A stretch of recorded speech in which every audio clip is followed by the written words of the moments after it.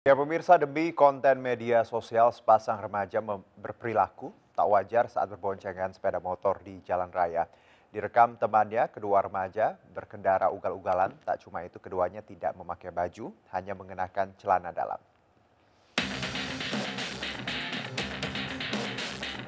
Rekaman aksi dua remaja ini viral di media sosial dan ramai menuai kecaman publik.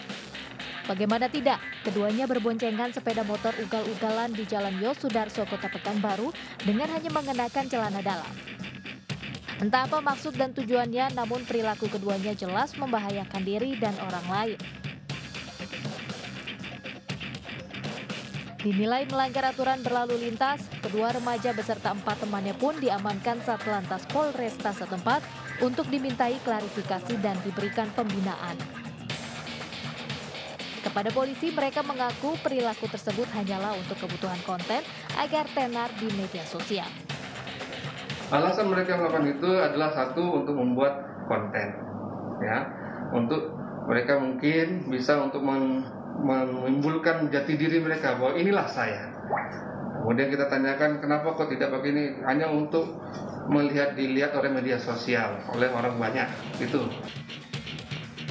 Sebagai efek jerah, polisi pun menjatuhkan sanksi tilang dan memanggil orang tua masing-masing pelaku. Keenamnya juga diminta membuat surat pernyataan untuk berjanji tidak akan mengulanginya kembali.